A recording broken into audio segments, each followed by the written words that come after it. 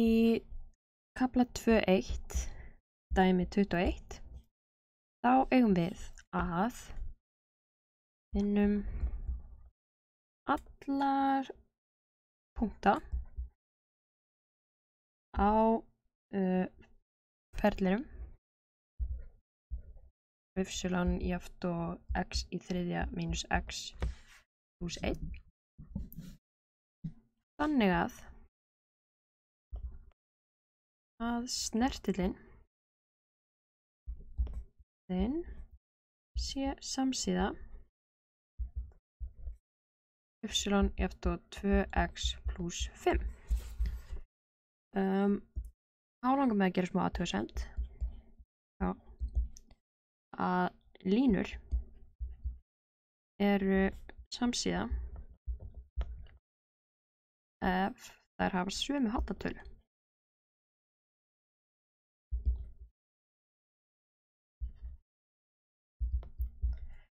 Um, þannig að við erum eiginlega með aðeins og mikið upplýsingum hérna að sko það þessi samsíða uppsynni eftir 2x pluss 5 þetta 5 er ekki að segja okkur neitt aðeins við erum í hérna er þessi hallatala 2 þannig að við erum að finna alla punkta á ferlinum þannig að hallatala snertilsins sé 2 uh, af því já ef, ef hallatalan á snertilin með 2 þá er mitt þá er hún samsíða þessari línu sem er líka með sömu hallatölu hallatöluna 2 um munið með er talan hérna á stöðlinn fyrir framann x uh, þegar maður skrifa á jöfnu línu.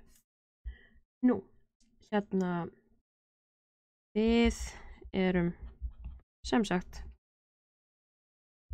að leita að punktum x0 þannig að snertill uh, uh, við graf valsins f af x jöft og x í þriðja mínus x pluss 1 hafi hallatölu hallatölu 2 og við erum búin að umorða þetta dæmi yfir í orðalag sem er líkara því sem var í dæmanum undan. Finna hallatölu snertils. Um, við rifjum upp. Rifjum upp að hallatala snertils tala snertils uh, við f er eða sett í punktunum í punktunum x0 er gefin með m, við vonum að nota m fyrir hallatöluna er markildið þegar hástefnir er 0 af f af punktunum að þessu h uh, viðlögðu mínus f af x0 ekki með neinu h-i og svo deilt með viðspunum h og viljum sem sagt viljum við mitt. Finna x0 þannig að þetta m sé 2 þetta m sé 2 nú er ég búin að gera mjög mikið af því að bara umorða þetta dæmi og þegar við erum búin að umorða þetta svona 5 sinum þá ætlum við að byrja að reikna eitthvað.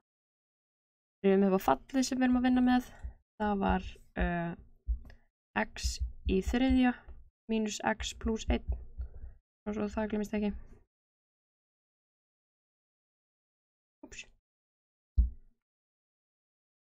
Þetta er vindars. Það tæknilegir örðuleikar en allana. Smá ljótreit en við lefum með því.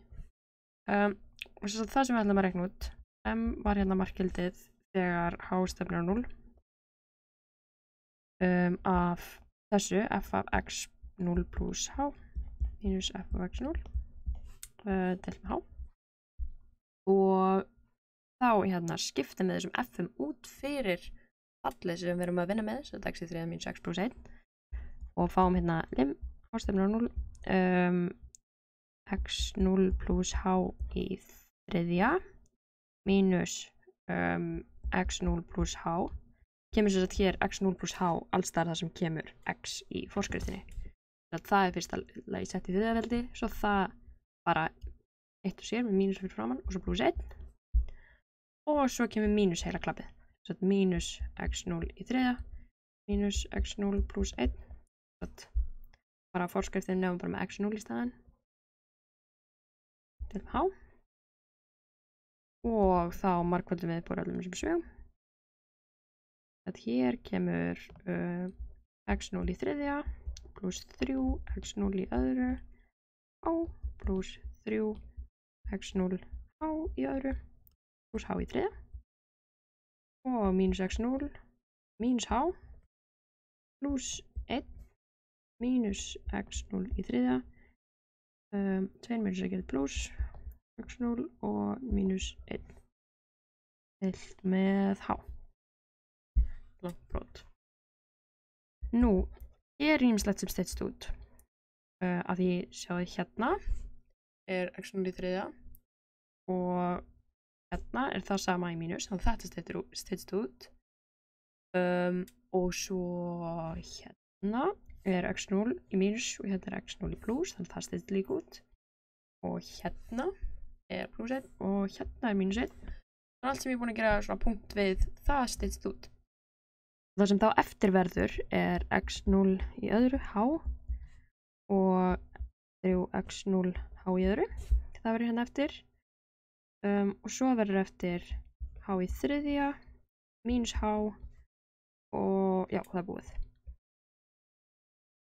Deilt með h.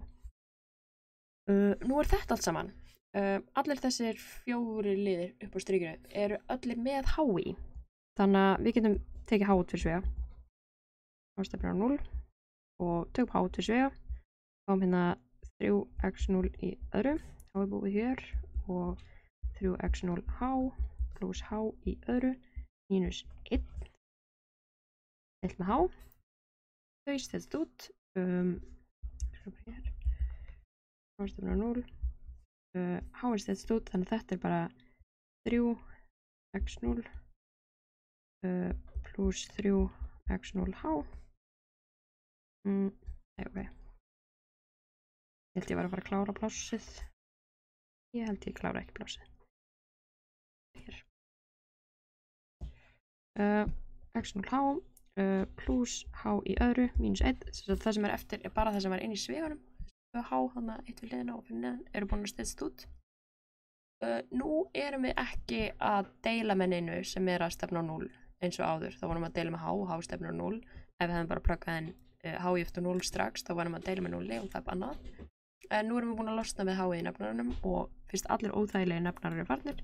Þá meðum við bara setja inn h sem 0 um, og þá fyrsti liðurinn hérna 3x0 það er bara 3x0 ekkert h hérna sem er 0 en hérna er þetta senum h þetta er 3x0 senum h þá bara h er 0 þannig að þetta hérna það er bara 0 þetta hérna það er líka bara 0 en mínus 1 hann stendur bara eins og hann er. Þannig að við erum hérna búin að rekna út að hallatalan í punktinum x0 er 3x0 minus 1.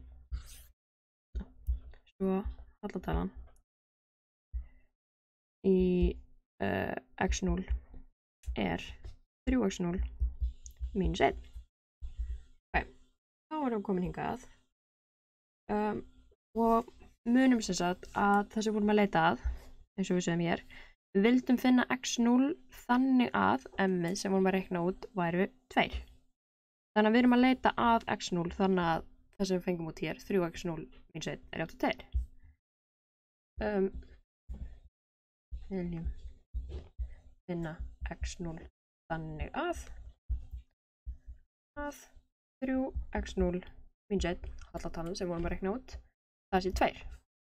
Sem sagt, uh, leggjum við 1 báða meginn um, þá fáum við að 3x0 er í aftur 3 x0 er í aftur 1 heyrðu býtir við ups, ég er átt að vera annaðveldi ég er átt að vera annaðveldi uppusi höldum ára, ég er átt að vera annaðveldi og þetta þýðir að x0 er í aftur pluss eða mínus 1 um Já, takk eftir að hér er með tvær lausnir uh, vegna þess að um, um, um, um, vegna þess að því að mínus 1 í öðru veldi þá gera mínus, 2 mínus er 1 pluss þannig að mínus 1 í öðru veldi það gefur líka lausn á x0 í öðru á 1 þetta glemist oft. Muna mínus lausn. Lausn líka.